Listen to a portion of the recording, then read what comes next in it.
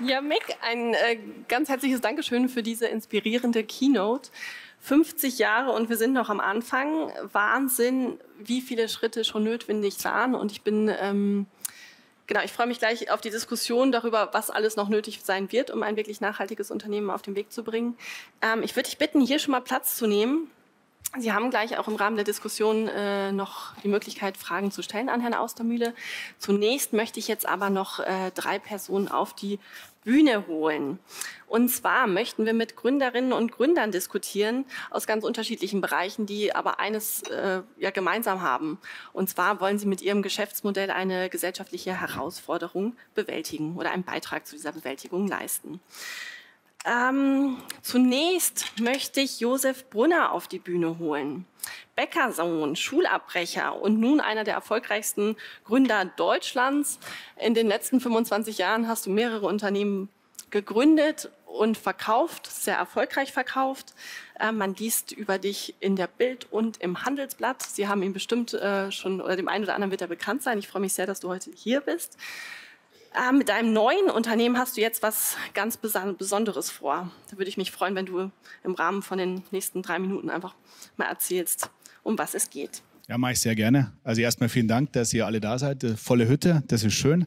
Ähm, Josef ist mein Name. Ähm, seit ich 16 bin, darf ich selbstständig sein. Meine äh, Eltern hatten eine Bäckerei, die äh, leider nicht funktioniert hat. Die haben wir dann verloren, haben unser Haus verloren ähm, und hat mich dann ähm, aber in die Selbstständigkeit gebracht. Etwas, das mein Leben nachhaltig geändert hat. Habe dann fünf Unternehmen äh, gegründet, insgesamt vier davon verkauft, einen Börsengang gemacht und habe dann ähm, überlegt, was ich denn ähm, als nächstes machen möchte und kehre jetzt mit Nutri United zu meinen Wurzeln zurück. Ähm, ich äh, liebe Lebensmittel, ähm, ich esse wahnsinnig gerne und weiß aber auch, äh, was die Ernährung für einen Einfluss auf unsere Gesellschaft und den Planeten hat. Und dann habe ich mir überlegt, ähm, welche Themen mir persönlich denn wichtig sind. Und ich liebe Handwerk, ich liebe Liebe zum Produkt und sehe, wie speziell kleine Lebensmittelunternehmen, die mit ganz, ganz viel Liebe Produkte bauen, Schwierigkeiten haben, in dieser doch relativ harten Lebensmittelwelt bestehen zu können. Also ist der erste Schritt, den wir bei Nutri United machen, diese Unternehmen zu kaufen. Ähm, wir wollen pro Jahr mindestens fünf Unternehmen ähm, die eben Produkte, die regional sind, ähm, die hoffentlich Kreislaufwirtschaft äh, im, im Kern des Wertschöpfungsprozesses verankert haben, ähm, kaufen und wollen dann ähm, mit diesen Unternehmen zusammen auch neue Produkte in den Markt reinbringen. Wir sind auf der Wiesen, die Katrin hat es schon erwähnt, mit unseren veganen und vegetarischen Produkten, ähm, alles zusatzstofffrei, allergenfrei ähm, und wollen da ähm, quasi einerseits gesellschaftlich diesen mittelständischen Unternehmen ein neues Zuhause geben und aber gleichzeitig diese Infrastruktur, Produktionsinfrastruktur, die wir äh, bekommen, dann auch nutzen, um allergen- und zusatzstofffreie ähm, Produkte in den Markt reinzubekommen, mit der Zielsetzung, ähm, ein Konglomerat zu werden, das von der Schwungmasse äh, mit Nestle mithalten kann, ähm, aber hoffentlich einen besseren Impact auf den Planeten hat. Das ist Nutri United in a nutshell.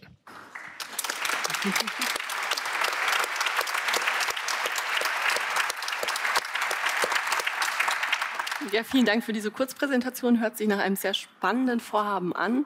Ein bisschen auch nach einem kleinen Kampf David gegen Goliath. Wir sind äh, sehr gespannt, gleich noch mehr darüber zu erfahren. Zuvor, zuvor möchte ich doch äh, Sarah Fleischer auf die Bühne bitten. Sarah habe ich vor circa einem Jahr in Brüssel kennengelernt. Damals äh, ja, stand sie mit ihrer, mit ihrer Co-Gründerin gerade vor der Entscheidung, gehen wir in die USA, es wäre so viel einfacher dort. Ähm, ich freue mich, dass ihr immer noch hier in München seid. Während des letzten Jahres habe ich immer auf LinkedIn nur Fotos von Sarah und dem Bundeskanzler, Sarah und dem Ministerpräsidenten gesehen. Ähm, schön, dass du heute hier bist. Was, äh, ja, was, was habt ihr vor? Oder woran? Kurze Intro zuerst. Okay, ja genau. Mein Name ist Sarah Fleischer. Ich habe hier Maschinenbau studiert, hier in der Technischen Universität von München. Das ist mein drittes Startup momentan. Die ersten zwei äh, vor zehn Jahren, als ich 22 Jahre alt war, direkt nach dem Bachelor. Leider nicht erfolgreich, kein IPO bisher. ähm, jetzt an meinem dritten Startup. Zwischendurch war ich auch in der Luft- und Raumfahrtindustrie. Also ich habe in der Space Agency gearbeitet, im Wirtschaftsministerium in Luxemburg, habe dort Finanzinstrumente aufgebaut und dort habe ich meine Co-Founderin kennengelernt. Ähm, super brilliant person, super smart, die Xenia. Und die ist diejenige, die die Technologie erfunden hat, woran wir heute arbeiten. Das ist Battery Recycling. Also wir können wirklich Lithium und Graphit aus jeder Art von Lithium-Ionen-Batterien herausholen. Das ist ein nasschemischer Verfahren. Ich kann mehr dazu, da kommen wahrscheinlich noch mehr Fragen dazu nachher. Ähm, aber wir haben wirklich das Unternehmen vor zwei Jahren aus dem Boden gestampft. Ähm, es gab große, immer noch große Konzerne da draußen, die das Gleiche versuchen, wie zum Beispiel einer der größten Chemiekonzerne hier in Deutschland, um jetzt keine Namen zu nennen. Aber die bewegen sich einfach schon seit den letzten zehn Jahren so langsam, wo wir gesagt haben, hey, die Xenia hat in ihrem Postdoc in Aachen die Technologie erfunden, den Ursprung wir wissen, wir sind jetzt schon viel weiter voraus als jeder andere hier in Deutschland oder in Europa. Wir haben circa ein Fenster von fünf bis acht Jahren als Startup, um eine neue Industrie zu shapen, um eine neue Technologie voranzubringen, die keiner anderer macht. Und so haben wir dann die Firma To Zero gestartet. Genau, und ich bin die Co-Founderin und CEO von der Firma. Wir freuen uns sehr, dass du hier bist.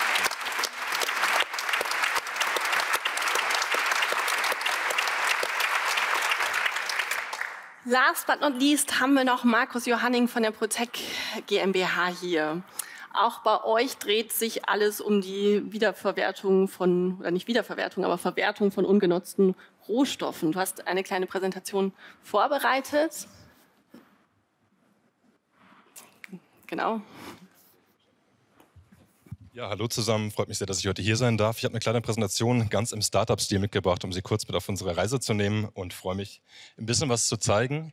Wir starten mit drei Zahlen. 1,2 Milliarden, 12.000 Tonnen und der dringende Bedarf an biogen und vor allem skalierbaren Rohstoffen. Das waren die Startpunkte für unsere Reise bei Protec.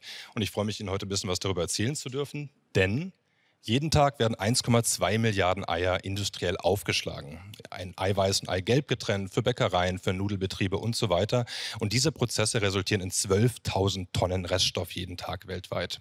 Und gerade in Zeiten, wo wir Rohstoffmangel haben, steigende Preise haben und dringend substituieren müssen, brauchen wir hier einfach neue Wege. Und dem nehmen wir uns bei der Protect GmbH an. Wir haben uns nämlich überlegt, wir wollen vom Reststoff zum Rohstoff und haben dafür Anlagen entwickelt, die wir dezentral direkt beim Verarbeiter platzieren können, dem seine ökonomischen Kosten nehmen können und dort die Reststoffe, die reinfallen, direkt in biogene Rohstoffe umwandeln können. Und zwar ohne Chemikalien, mit wenig Energie und hochgradig effizient. Was kommt da hinten raus? Zum einen biogenes Calciumcarbonat, auf der anderen Seite die Membran, ist die dünne Haut, die Sie vielleicht vom Frühstücksei kennen. Was machen wir mit diesen Rohstoffen? Calciumcarbonat kennt, glaube ich, jeder von uns, besser auch genannt als Kalk. Kalk umgibt uns überall. Industrien wie Farbindustrie, Papierindustrie, Baustoffindustrie, Füllstoffindustrie, Lebensmittelindustrie. Alle sind aktuell noch auf fossilen Kalk angewiesen.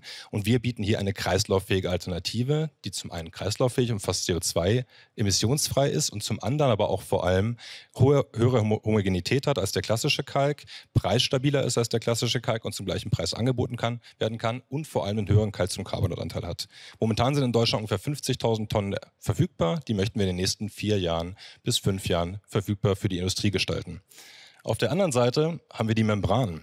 Und wir sind die erste Firma weltweit, die es geschafft hat, aus dieser Membran ein Bioplastik herzustellen, mit dem klassischer Kunststoff substituiert werden kann. Wir können zudem Biomoleküle, Pigmente und Indikatoren funktional in dieses Material integrieren, daraus also ein technisches Material machen, was damit dann als Trägermaterial genutzt werden kann. Wir machen hier viele Joint Developments mit verschiedensten deutschen und vor allem bayerischen Großunternehmen und freuen uns hier auch immer über neue Gedanken. Abschließend, Protect wurde von Fabian Hütter und mir gegründet. Wir haben in den letzten Jahren verschiedenste tolle Partner, vor allem hier in Bayern, gefunden, mit denen wir jetzt schon lange zusammenarbeiten. Wir bauen gerade unsere erste Industrie-Großanlage, mit der wir über 100 Tonnen im Monat transformieren können. Ja, und ich freue mich, dass wir heute hier im Gespräch sind und äh, uns tolle Inhalte anhören dürfen. Viel Spaß wünsche ich.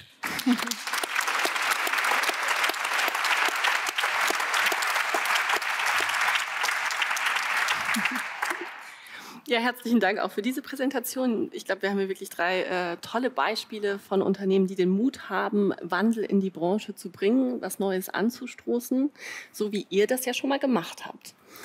Ähm, genau, und Josef, du sagst zum Beispiel auch, dein Unternehmen ist kein Unternehmen, sondern es ist eine Bewegung. Wie wollt ihr denn die Branche mitnehmen oder den Wandel in die Branche tragen?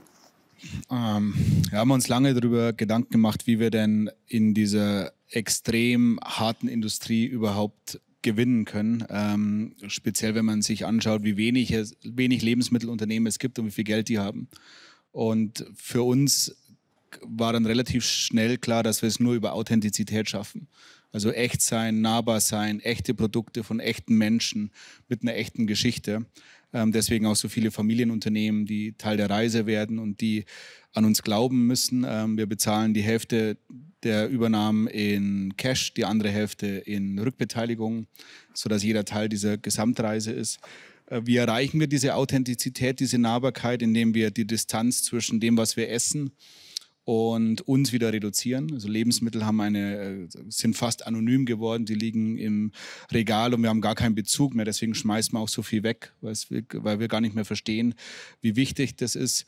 Und deswegen, ähm, um diese Authentizität zu erreichen, wollen wir sehr transparent, nahbar und kommunikativ sein. Also den Herrn Nestle gibt es nicht mehr, ähm, kann man nicht mehr anrufen. Mich kann man immer anrufen. Also ich stehe steh dafür ein. ähm, und wir tun es auch öffentlich. Also wir haben einmal im Quartal machen wir einen Podcast, wo wir ganz offen über das Unternehmen sprechen, über die Zahlen ganz offen sprechen, wem wir gekauft haben, was uns umtreibt, sodass wir die Menschen mit auf die Reise nehmen. Wir haben mit OMR zusammen eine eigene Podcast-Dokumentation gemacht, ähm, vom Rohstoff äh, bis zum Regal, wie funktioniert das Ganze ähm, und versuchen äh, in, in allem, was wir tun, so, so nahbar, so echt und so transparent wie möglich zu sein, um dann, letzter Satz, das äh, ultimative Gut zu erreichen, das uns wichtig ist und das ist Vertrauen. Wir möchten, dass äh, Menschen irgendwann auf der Straße sagen, Mensch, diese Nutri United Leute, ich glaube, denen kann ich vertrauen. Ähm, ich glaube, das würde man nicht über viele andere Lebensmittelunternehmen sagen. Mhm.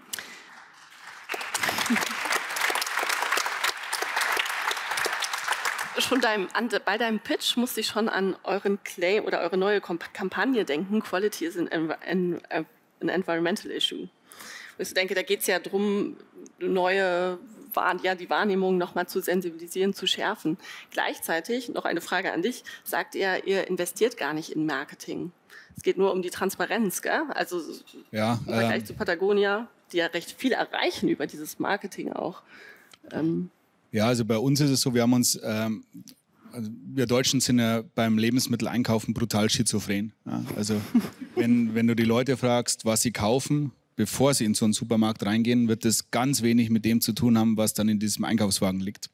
Und ähm, wir haben also, wenn freundlicher formuliert, sind wir sehr preissensibel. Und ähm, deswegen glaube ich nicht daran, dass wir nur uns über, ähm, über, das, über, ein, über Nischenprodukte wirklich differenzieren können, beziehungsweise dass wir ein Unternehmen in der Schwungmasse von Nestle, ich möchte also auch mit Nutri United idealerweise wieder an die, an die Kapitalmärkte irgendwann gehen, äh, dass wir diese Größe erreichen können. Ähm, da uns aber Qualität total wichtig ist, müssen wir irgendwo anders einsparen. Und äh, wenn du dir ein heutiges Produkt anschaust, ist ungefähr 50 Prozent der direkten Kosten sind Marketing.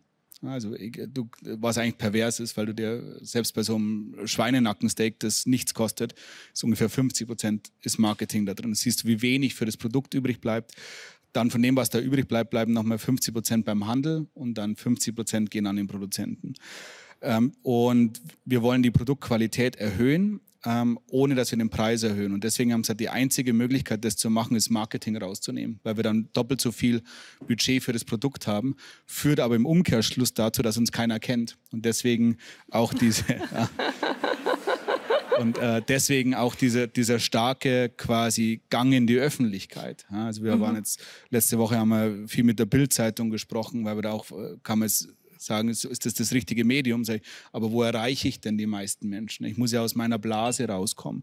Sind wir äh, dann in der Welt, dann beim Gabor Steingart. Wir, wir, kommunizieren also sehr, sehr viel und wollen die Menschen auf diese Reise mitnehmen, mhm. sodass wenn sie irgendwann mal ähm, vor einem Regal stehen bleiben und sagen, Mensch, ich glaube, die versuchen wirklich was Positives zu machen. Und deswegen gibt es kein Marketing bei uns. Ja, sehr spannend.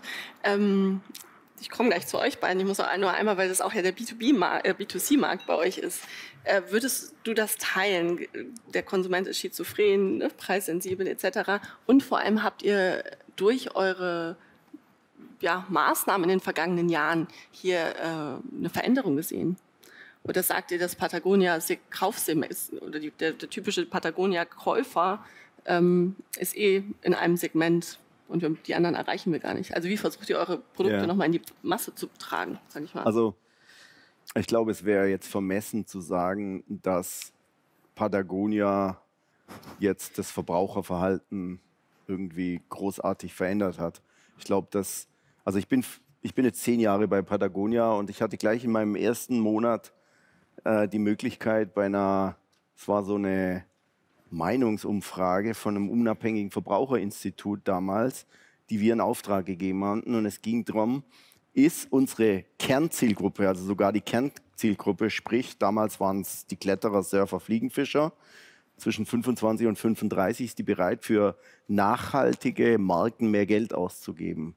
Und das klare Ergebnis von zehn Jahr, vor zehn Jahren war, ja, ja, haben sie alle gesagt. Ja, wie viel? Ja, vielleicht ein Euro oder zwei. So, äh, also überspitzt gesagt. Und ich glaube, dass sich das insgesamt komplett verändert hat.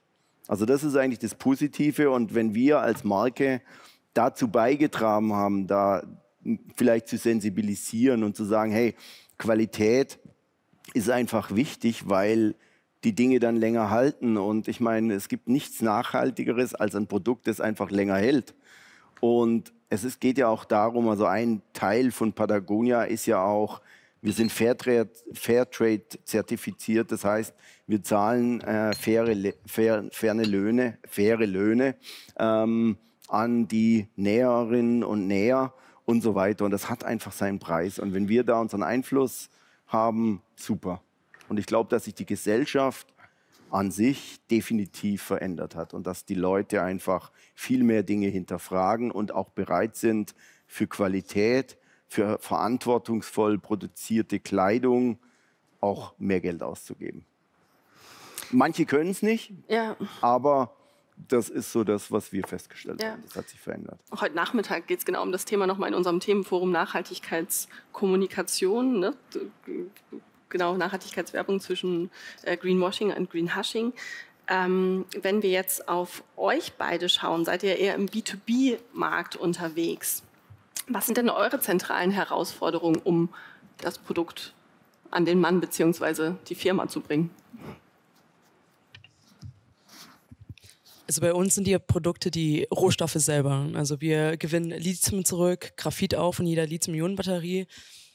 Wir haben enorm großen Bedarf hier in Europa von diesen Rohstoffmaterialien. Also 99 Prozent von Graphit wird aus China importiert. Äh, wir haben hier gar nichts in, in Deutschland vor allem, aber auch hier in Europa. Lithium über 75 Prozent wird importiert, vor allem aus China. Ähm, also sehr geopolitisch, äh, was die, Rohstoffmaterialien angeht. Deshalb nennt man das auch kritische Rohstoffmaterialien von der sehr politischen Sicht. Und das sind nicht nur die Batteriehersteller, die diese Rohstoffe benötigen, aber Lithium wird zum Beispiel in jeder Keramikindustrie verwendet, in Zementindustrie. Lithium hat die Fähigkeit, Zement um 50 Prozent zur Härtung zu beschleunigen. Ähm, auf jedem Smartphone das Glas, High-Performance-Glas oder Gorilla-Glas, deutsche Erfindung, da wird Lithium reingetan, ähm, um diese High Performance zu ermöglichen. Oder jede Schott-Herdplatte ähm, oder Keramik-Herdplatte wird das Lithium drin, wegen der Hitzebeständigkeit oder Schmierstoffmitteln. Also es gibt sehr viele Industrien, die diese Rohstoffe benötigen. Das ist der komplette Mittelstand hier in Deutschland, die komplett abhängig sind von diesen Rohstoffmaterialien. Und die rennen uns jetzt gerade alle die Bude ein. wir sind leider noch ein bisschen zu klein, um alle zu befriedigen. Ähm, aber wir haben April diesen Jahres unser erstes Lithium-Produkt. Ich habe sogar hier was dabei. Das ist der Startup Move.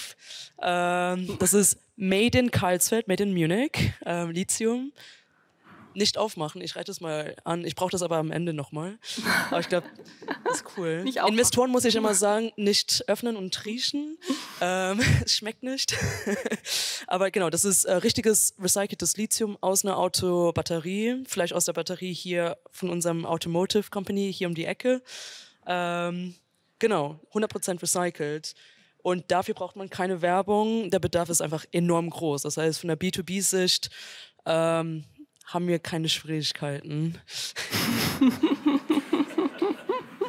Jetzt wird es natürlich schwierig. Ähm, aber auch wir haben tatsächlich keine riesigen Schwierigkeiten. Ähm, glücklicherweise. Wir haben andere Schwierigkeiten.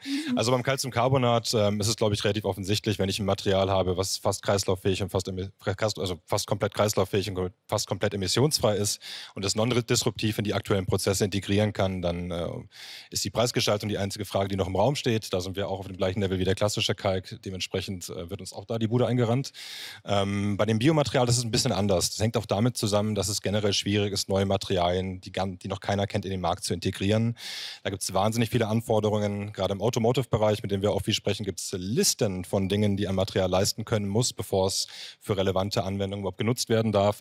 Und da schlicht und ergreifend der finanzielle Aspekt das größte Hindernis. Also diese ganzen Tests zu bezahlen, die, die zeitliche Kapazität aufzuwenden, diese Tests durchzuführen, das ist manchmal nicht so ganz einfach. Da sind wir dran und robben uns da entsp äh, entsprechend vor. Ich glaube generell, das ist den Punkt ganz besonders wichtig, immer ein Problem lösen zu wollen. Das heißt, es geht nicht darum, einfach einen Katalog an, an Tests durchzuführen, sondern sich zu überlegen, wo ist die richtige Nische für dieses neue Material, wo ist die richtige Nische für einen biogenen Kalk und wie können wir da am einfachsten in den Markt reinkommen. Das ist die größte Herausforderung, diesen Weg zu finden. Wir sind aber sehr zuversichtlich und freuen uns auf die nächsten Monate.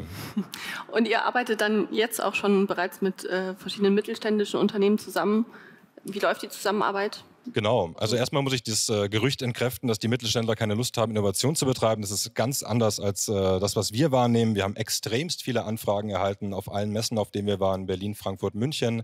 Haben wir extrem viele Mittelständler gehabt, die auf uns zugekommen sind, die äh, wahnsinnig innovationsaffin innovationsoffen sind und die vor allem auch die Manpower mitbringen, um auch solche Themen dann entsprechend zu behandeln. Da kriegt man dann Leute, die aktiv an dem Thema arbeiten, die äh, ein gutes Reporting haben und die einem helfen, gemeinsam irgendwo anzukommen. Und das ist, glaube ich, auch die die Herausforderung, die viele Startups haben, bevor sie eben solche tollen Partner kennenlernen, mit solchen Menschen verknüpft zu werden. Wie können wir gemeinsam ein Problem kennenlernen und dann dieses Problem gemeinsam lösen? Ich glaube, das ist so die größte Herausforderung, die man als Startup am Anfang hat. Und wir sind total dankbar, dass da so viele Menschen auf uns zugekommen sind und freuen uns auch auf alle, die da noch weiterhin mit uns gemeinsam Innovation betreiben möchten. Ja, vielen Dank. Ähm, während ihr noch wächst und skaliert etc., sagt ihr ja, wir haben gerade ein Interview, ich weiß nicht, ob Sie es gelesen haben, mit Herrn Micke Austermühle im IHK-Magazin, profitabel genug. Ihr seid profitabel genug. Also welche, welche Rolle spielt denn Wachstum bei euch noch? Weil man könnte ja auch argumentieren, so mehr ihr wächst, so mehr erhält die Klimastiftung, ähm, so, bessere, so mehr bessere Produkte sind auf, der, auf dem Markt welche Zielkonflikte gibt es da im Unternehmen? Oder wie ist das Verständnis, wie ist ja. aktuell euer Verständnis von Wachstum und welche Zielkonflikte gibt es gegebenenfalls? Also grundsätzlich können wir nicht profitabel genug sein. Weil je profitabler wir sind, umso mehr können wir verschenken. Also von dem her, wir müssen profitabel sein, wir wollen profitabel sein und wir wollen möglichst profitabel sein. Aber, und das unterscheidet uns von ganz vielen Unternehmen jetzt auch, wahrscheinlich insgesamt, aber speziell in der Outdoor- oder Bekleidungsbranche, wir müssen nicht wachsen. Also wir sind nicht durch von der Gesellschaftsform her oder von äh, Shareholder Value her gezwungen zu wachsen. Und das ist eine sehr komfortable Position. Und unser CEO, der Ryan Gellert, der hat vor vier, fünf Jahre her, hat er der Züricher Zeitung ein Interview gegeben, hat gesagt, global wollen wir nicht mehr wachsen. Und das ist auch nach wie vor richtig. Wenn der Markt wächst, dann wachsen wir mit generisch, aber wir müssen keine Dummheiten machen. Wir müssen keine Sauereien auf gut Deutsch machen, um zu wachsen. Und wenn er sagt, wir müssen global nicht wachsen, dann heißt das, dass wir uns, so hart es für manche ist, uns im ein oder anderen Land auch vom ein oder anderen Handelspartner trennen können, der nicht mehr zu uns passt und können dafür mit anderen, die besser zu uns äh, passen, die unsere Philosophie mittragen, wachsen. Das ist damit gemeint. Also wir, wir müssen nicht wachsen. Wir wollen auch nicht global gesehen nicht unbedingt wachsen. Wir wachsen aber nach wie vor in Europa. Also in Europa wollen wir auch wachsen. Da sind wir deutlich hinter. Also wenn man Europa mit Nordamerika vergleicht, wo wir herkommen, sind wir wahrscheinlich zehn Jahre hinterher, auch was die Bekanntheit der Marke angeht. Von dem her ist es auch wichtig, dass wir hier in Europa noch wachsen. Kannst du noch mal, du hast gesagt, das ist, äh, genau, ihr müsst nicht wachsen. Wie sieht es ganz praktikabel aus in der Unternehmensstruktur, in den Mitarbeiterzielen? Ähm, das ist ja auch was, worüber immer wieder diskutiert wird. Wie bekommen wir eben die Nachhaltigkeitsziele unseres Unternehmens auf eine persönliche Ebene heruntergebrochen? Also es ist natürlich so, dass wir, wie ich gesagt habe, wir wollen profitabel sein und um profitabel sein äh, zu können, müssen wir auch Dinge verkaufen. Ähm, das ist ja auch das, wovon ich gerade vorhin gesprochen habe. Uns ist bewusst, dass wir einen Impact haben. Aber bei uns ist es eben so, dass auch ähm, unser, unser Vertrieb, unsere Sales-Leute ähm, haben nicht als einziges Ziel und auch nicht als äh, Hauptgewicht irgendwelchen Wachs irgendwelche Wachstumsziele, sondern da geht es auch wirklich darum, ähm, keine Ahnung, morgen, morgen ist Freitag, morgen ist ein München Klimastreik. Da gehen wir, da machen wir den Laden zu, auch unseren Store in der Leopoldstraße und dann gehen wir zuerst mal drei Stunden auf den Klimastreik und dass man an solchen Sachen teilnimmt, dass man an äh, ein Enviro ähm, Internship äh, manchmal komme ich aus dem ähm, also im, im Umweltbereich ähm, bei einem NGO für eine Woche mitarbeitet. Das sind auch Ziele, die wir unseren Mitarbeitern äh, irgendwo in die Jahresziele mit reinschreiben. Josef, du bist nicht nur Unternehmer, du bist auch Investor. Was geht dir durch den Kopf? Würdest du in Patagonia investieren? Ja, also ähm, es gibt aus meiner Sicht ähm, eben, wir haben irgendwie vergessen, dass Unternehmen einen gewissen Zweck erfüllen müssen. Also deswegen ist diese, diese Philosophie des Shareholder Values ist aus meiner Sicht nicht nur was die Umwelt betrifft, sondern auch den gesellschaftlichen Beitrag, den Unternehmen und Unternehmer leisten sollten, ähm, total obsolet. Ja. Und ähm, ich finde das, es gibt ja so eine neudeutsche Purpose-Diskussion, also wo wir ganz teure Consultants engagieren, die uns sagen, warum wir denn existieren.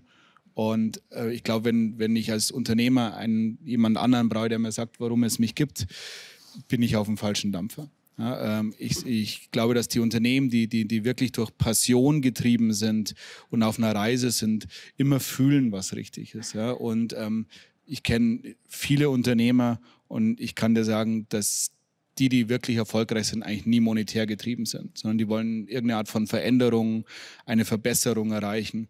Und das ist, das ist wunderbar, weil das äh, Kräfte mobilisiert, die äh, Angestellte niemals haben werden. Also das ist dieses, diese eine Meile mehr zu gehen oder was du angesprochen hast, diese Resilienz auch zu haben, wenn man fest daran glaubt, das Richtige zu tun, dann auch durch so ein Tal der Tränen ganz, ganz lang durchgehen zu können. Darum glaube ich, dass das ähm, ein, ich weiß, worauf du raus willst, aber dass das ein verschobener Blick zwischen Kapitalmarkt und Unternehmertum ist und dass du vielen Unternehmern gar nicht erklären musst, was sie tun müssen, dass das eher bei den etwas auf Abwägen geratenen Großunternehmen ähm, mhm. der Fall ist.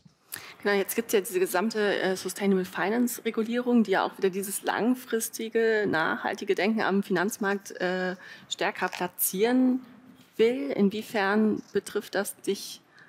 Ja, ich äh, stehe jeden Morgen auf und freue mich über jede neue Regulation, die wir kriegen. Ähm, das, ich, also ich würde da brutal radikal mal in, in unseren Katalog der, der Unternehmensvorschriften gehen und mir mal die, die ähm, überlegen, wo habe ich denn den, den größtmöglichen Wirkungsgrad, den ich erzeuge, weil wir haben so viele Papiertiger, die sich äh, unglaublich gut äh, anfühlen, solange du die nicht implementieren musst. Und ich äh, äh habe jetzt äh, letztes Mal äh, zwei äh, Minister aus dem Kabinett vom Herrn Scholz eingeladen, dass sie mal mit mir durch meine äh, Unternehmen durchfahren und sich mal anschauen, was die Mitarbeiter den ganzen Tag machen, die wir für Compliance und für Regularien abstellen. Ja? Ähm, weil ich glaube, manchmal haben die den Bezug verloren zu dem, was ähm, Regularien machen und dann zu dem Speziellen, was du angesprochen hast, Sustainable Finance. Ich habe mein letztes Unternehmen, ist ein Energy Management Unternehmen, das haben wir an die Frankfurter Börse äh, geführt. Ähm, wir machen nichts anderes außer Energiesparen. Und es ist für uns ein Rätsel, wie wir irgendeinen Mehrwert aus, dieser, äh, aus diesem Sustainable Financing rausziehen sollen. Konnte uns bis jetzt noch keiner erklären. Ähm, und das zeigt so die Herausforderung, wie weit die Politik weg ist vom Unternehmertum und wir müssen aufpassen, dass wir auch äh, na, auf den Outcome, auf den Wirkungsgrad schauen und weil ansonsten werden wir nicht, nichts erreichen.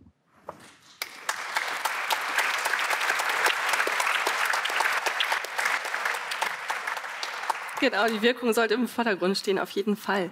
Ähm, Sarah, von welchen Regulier oder mit welchen Regulierungen ich will nicht sagen kämpft, aber du weißt, was ich meine, von welchen oder mit welchen Auseinander, Auseinandersetzen. Ja, genau. Zu viele. Äh, wir sind ja ein Hardware-Unternehmen, also ähm, ähnlich äh, wie die anderen. Wir recyceln Lithium-Ionen-Batterien, das ist ein Hazardous Waste. Wir dürfen offiziell nicht einfach so Battery Waste annehmen. Dafür braucht man ein Permit, das nennt sich Waste License. Dafür benötigt man zwölf Monate. Da kann man jetzt nicht einfach in Startup sagen, ja, warte mal zwölf Monate, bis du operativ werden kannst. Wir haben jetzt einen Zwischenweg gefunden, wo wir das machen dürfen, bis zu, bis zu einem Limit. Aber jedes Mal, wenn wir wachsen und skalieren, brauchst du einen neuen Permit. Mhm. Ähm, ist nicht so schön, ist nicht so einfach für ein Startup. Das zweite, Baugenehmigung. Wenn du jedes Mal in eine neue Plant Location reingehst, am, ganz am Anfang waren wir bei 100 Quadratmetern, momentan sind wir bei 1000 Quadratmetern und jetzt suchen wir eine neue Location für 5000 bis 10.000 Quadratmetern. Da musst du den kompletten Prozess von vorne anfangen, weil das natürlich location-based ist. In der USA kannst du einfach so quasi, man, man es, es, sieht immer so einfach aus, aber wahrscheinlich ist es auch so einfach. Kannst einfach eine Produktionshalle aufbauen und laufen lassen, Geld machen und dann reden wir mal, was für Regulierungen da passend sind. Aber hier als Startup ist es sehr schwer zu skalieren und das dauert einfach viel zu lange. Und manchmal wissen auch die Behörden nicht, was, wir, was genau gesucht wird. Also das ist immer ein Rätsel zwischen den Ländern, Bundesländern und regionalen ähm, Gegenden. Genau. Umso, umso mehr freut es uns ja, dass ihr immer noch hier seid. Was war dafür dann der ausschlaggebende Grund? Good question. ähm, es heißt nicht, dass wir kein Auge auf Amerika schauen. Äh, nee, aber ähm, München oder Deutschland ist auf jeden Fall unser Headquarter, unser Homebase. Ähm, die Technologie ist deutsch, kommt aus Aachen, ursprünglich von meiner Co-Founderin, die Xenia, während ihrem Postdoc. München ist nicht nur schön, aber ähm, ist auch sehr attraktiv für Top-Talente. Also momentan sind wir 15 Leute und elf Leute also elf verschiedene Nationalitäten. Wir haben es geschafft, dass mehr als die Hälfte der Leute wirklich nach Deutschland ziehen, nach München ziehen, um an der gleichen Mission von To Zero arbeiten. Das, das schafft vielleicht nicht jedes, jede Stadt hier in Deutsch äh, oder in Deutschland oder hier in Europa. Ähm, wir haben hier gute, also Top Talents und wir sehen auch den Markt, dass es auch groß genug ist. Also Deutschland ist ja Homebase auch von der Automotive-Industrie. Hier werden die ganzen Gigafactories aufgestellt und bis in den nächsten zehn Jahren, also bis 2035, äh, kommt der meist, also das meiste Müll von den Gigafactories selber. Also momentan ist 60 Prozent von Battery Waste von den Gigafactories, weil einfach die komplette Ramp-up-Phase von der Gigafactory 100 Prozent Ausschuss hat in den ersten zwölf Monaten. Und das muss man sofort recyceln. Und da jetzt mehr und mehr Gigafactories anlaufen, äh, produziert das sehr viel Müll. und das bleibt auch, auch alles hier, weil es gibt mhm. jetzt auch die EU-Regulierungen, wo der Müll hier bleiben muss, weil da die wertvollen Rohstoffe sind. Aber wir haben keine ordentliche Technologie, um das zu recyceln. Das heißt, Deutschland ist einfach ein einer der größten Märkte für uns hier in Europa, auf jeden Fall. Ähm, heißt aber nicht, dass wir irgendwann mal oder sehr bald expandieren. In Ordnung. Ganz herzlichen Dank. An dieser Stelle möchte ich schon mal das Publikum befragen. Gibt es Fragen von Ihrer Seite? Ich, hier meldet sich schon eine Dame. Haben wir ein Zuschauermikrofon? Hier vorne ist eins. Dann gibt es mir vielleicht mal ganz kurz.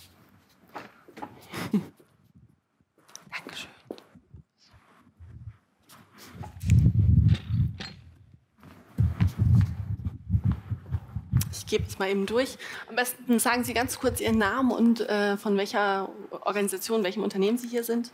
Und dann gern gleich die Frage. Ähm, ja, genau. Nicht von der Organisation, sondern ich bin selbstständig. Ähm, zwei Fragen an die Frau Fleischer, die mir die ganze Zeit im Kopf schwören, die ich gerne loswerden möchte. Und zwar das erste ist, wie gut ist Ihr Patentschutz? Und das zweite, was ich habe, ist, ähm, haben Sie darüber nachgedacht, mit den Automobilherstellern zu kooperieren, aufgrund von finanzieller und diesen Möglichkeiten, deren Facilities eben auch mitzubenutzen, um das zu umgehen mit diesen ganzen Genehmigungen, die Sie brauchen? Alright, ja, vielen Dank. Ähm, Nochmal die erste Frage. Ich bin schon in Gedanken bei den Patentschutz. Ah, Patentschutz, ja, genau. Lieblingsthema. ähm, als Startup ist es schwer, ähm, alles zu machen. Ein Patent braucht sehr viel Zeit. Wir haben jetzt äh, unsere ersten Patente auch registriert, aber wir fahren ein ganz normales Verfahren. Also äh, eine Mischung zwischen Trade Secret und äh, Patente, weil Patente heißt nicht unbedingt, dass es uns schützt. Ähm, das heißt, wir fahren da, also wir arbeiten da mit guten ähm, Patentanwälten, die uns da sehr gut beraten. Also ich, ich würde einfach sagen, wir sind in guten Händen. Äh, wir haben ein Core IP, wir sind geschützt, wir haben Freedom to Operate, das ist jetzt sehr technisch. Äh, wir dürfen das machen, was wir machen momentan und haben die, auch die ersten Patente registriert. Äh, aber man kann natürlich viel mehr machen, aber die Ressourcen muss man zuerst mal haben. Ähm, genau, wir sind nicht wie die großen anderen Unternehmen, die hunderte Leute haben für nur die Patentspalte. Äh, zu der zweiten Frage OEMs.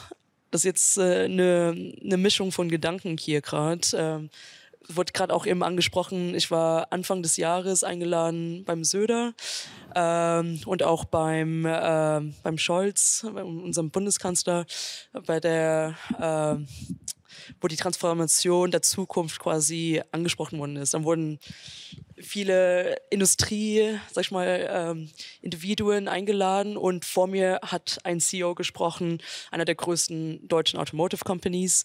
Ähm, der dann wirklich aktiv gelobbyt hat, hey, die Regulierung, die die EU quasi auch bewirksam gemacht hat, dass ab 2030 6% von recyceltes Lithium in jeder Lithium-Ionen-Batterie drin sein muss. Ähm, das heißt, in jedem Auto ab 2030 braucht recyceltes Material, wo dann der CEO gesagt hat, das wird nicht funktionieren, wir haben die Technologie hier nicht in Europa, das wird niemals funktionieren. Vielleicht in 2040. Ich durfte nach ihm sprechen.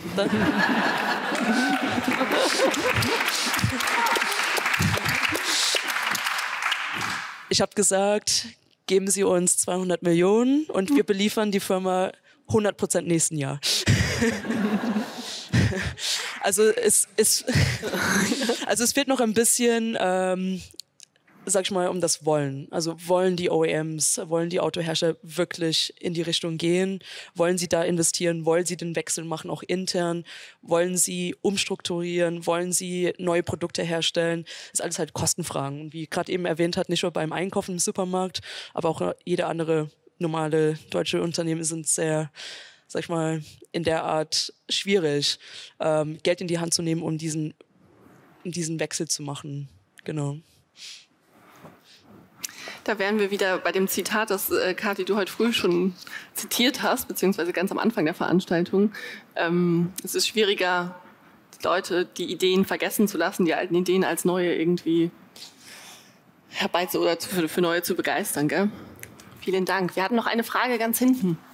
Äh, mein Name ist Georg Vogel, ich bin EMAS-Fan und EMAS-Mensch der ersten Stunde. Was EMAS heißt, entweder mich fragen oder zum IHK-Stand äh, nach draußen gehen. Ich unterstütze Unternehmen bei Umweltmanagement und Nachhaltigkeit. Meine Frage geht an den Michael Austermüller.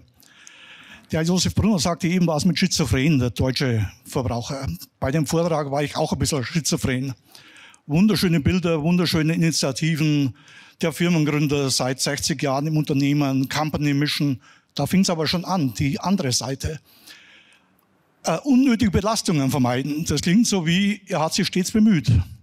Und auch die späteren Maßnahmen mit dem Bauwagen und mit der Reparatur der Kleidung, das sind all, alles Nano-Maßnahmen. Nano ist deutlich weniger als Mikro-Maßnahmen. Auch das Beispiel mit Gore-Tex, PFC, einer der umweltschädlichsten Bekleidungsmaterialien, was PFC heißt, entweder Michael fragen oder mich oder, oder googeln, haben Sie in der Firmengeschichte von Patagonien ein Beispiel für ein Produkt oder für eine Produktion, die sich in der Branche durchgesetzt hat. Also Gore-Tex gilt nicht, weil da was ganz, ganz Schlechtes zu ein bisschen weniger schlecht äh, geworden ist, sondern Gibt es irgendeinen, wo Sie Vorreiter sind, was sich in der Branche durchgesetzt hat? Danke. Also ich, ich glaube, ähm, es gibt mehrere Produkte. Ich habe ein Beispiel genannt, das sind die Julex-Anzüge. Äh, es gibt viele, Produ äh, viele Beispiele. Und weil Sie jetzt das Reparieren angesprochen haben, speziell den, das Tiny House, es geht nicht darum, wie viele Teile wir da reparieren, sondern es geht darum, einen Sinneswandel zu erzeugen.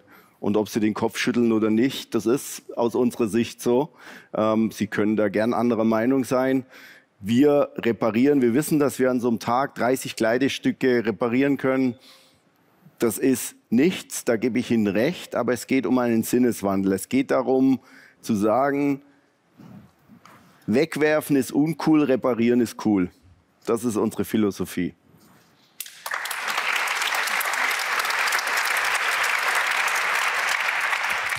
Noch eine letzte Frage. Ja, danke. Christiane Zusalm ist mein Name. Ich bin Aufsichtsrätin.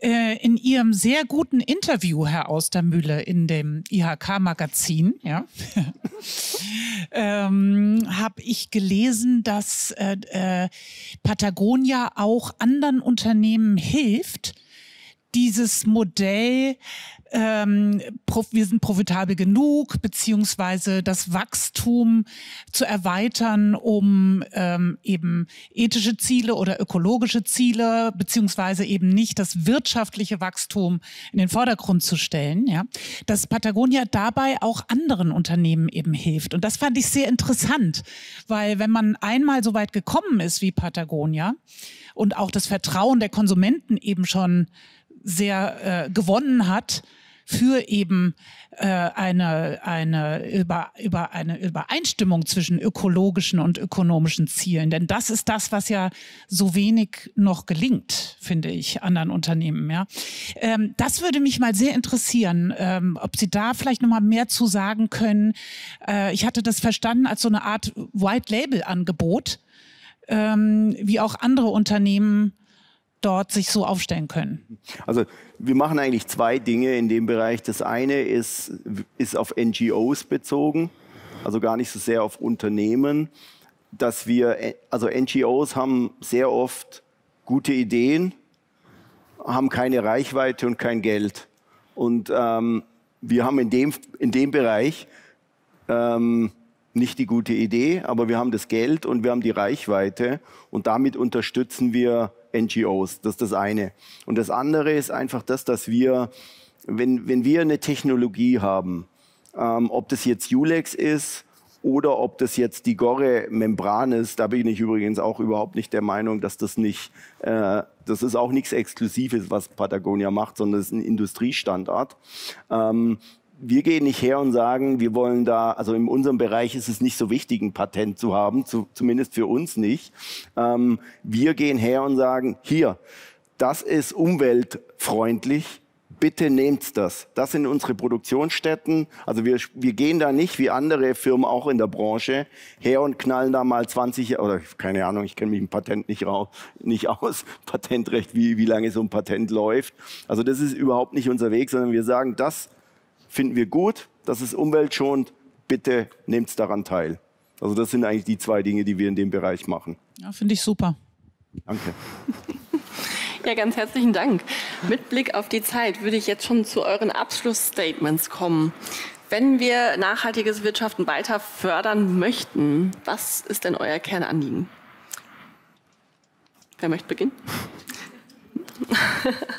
Da fange ich gerne an und spreche nochmal über die Regulatorik, nachdem es so ein äh, beliebtes Thema heute ist. Gerade als kleines Startup, was ähm, jetzt vier Jahre Bootstrap gearbeitet hat und sich ähm, viele Erfolge erkämpfen musste, ist es wahnsinnig aufwendig, sowohl zeitlich als auch finanziell, sich durch den regulatorischen Dschungel durchzukämpfen. Wir brauchen einfach strukturell einfachere regulatorische Systeme, die man leichter auch selbst durchdringen kann. Wir arbeiten mit Experten zusammen, mit der Pivot hier in München, Regulatorikberatung, sind also bestens aufgestellt, aber selbst in so einer Konstellation ist es gerade im Lebensmittelbereich alles andere als einfach, neue innovative Ideen voranzubringen. Und ich würde mich wahnsinnig freuen, wenn da jemand nochmal einen erweiterten Blick drauf werfen könnte, denn das würde vielen Menschen helfen, ihre innovativen Ideen leichter und schneller in den Markt zu bringen. Und ich glaube, das ist das der Wunsch, den wir alle gemeinsam haben.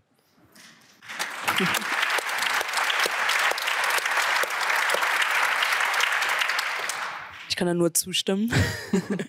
Regulations äh, ist nervig für Startups. Aber das Zweite für Startups ist auf jeden Fall ähm, Geld. Wir brauchen viel Geld zu skalieren. Ähm, es gibt viel Geld hier in Europa. Wir, wir haben hier sehr viel Geld, aber manchmal geht es nicht in die Richtung von Startups, sondern eher für Großkonzerne, vor allem bei neuen Innovationen, die wir vorantreiben möchten hier in Europa. Und da ja, große Bitte an die EU, aber auch äh, auf der Bundesebene, dass mehr Geld fließt und einfacher und schneller äh, fließen zu lassen an Startups.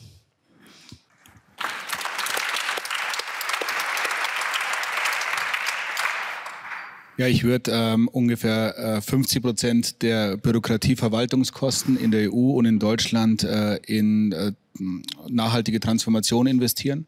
Ähm, das heißt, ich würde so die Beamten äh, und die äh, Apparate, die sich ge geformt haben in Brüssel und in Berlin, abbauen. Und dieses, ähm, das hätte zwei starke Dividenden. Das heißt, wir hätten mehr Budget ähm, dass wir quasi nicht mehr im Staatsapparat haben, dass wir in Transformation investieren könnten.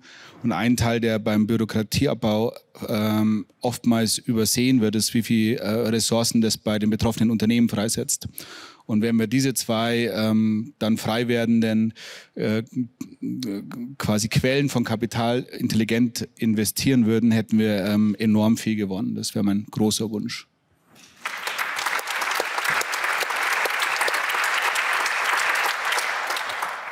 Ja, ich habe eigentlich drei Gedanken, die jetzt auch hier bei mir hochkamen in, de, in der Zeit hier. Das eine ist, ähm, reparieren ist, ist echt cool. ähm, aber Secondhand ist auch richtig cool. Das habe ich von meinen Töchtern gelernt.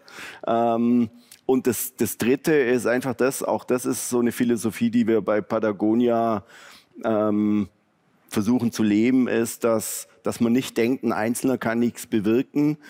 Es kann wirklich jeder Einzelne kann was bewirken. Also das ist auch so eine Philosophie, die ich, die ich auch wirklich bei Patagonia gelernt habe. Wenn einer eine Idee hat, man findet schon Supporter dann und so weiter. Also von dem her, jeder Einzelne kann wirklich was bewirken. Nicht denken, ein Einzelner kann es nicht.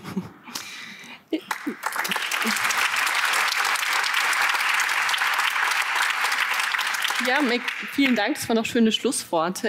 Wenn ich Leute wie euch auf der Bühne habe, denke ich, macht es mir auf jeden Fall immer Mut, äh, dass wir die, äh, den Wandel hin zu einer nachhaltigen Wirtschaft schaffen. Ich hoffe, Ihnen geht es ähnlich. Ähm, wir haben jetzt noch zehn Minuten vor der Pause und jetzt wird es erstmal ein wenig künstlerisch. Möchtet ihr hier oben noch sitzen bleiben? Oder ja, dann haben wir danach alle hier oben. Genau, aber ähm, jetzt kommen zwei kreative Köpfe auf die Bühne, Lars ja, Rothberger und Jakob Weber, ähm, die verantwortlich sind für den Parcours Futur. Ja, wir wollen das ja sehen. ja, genau.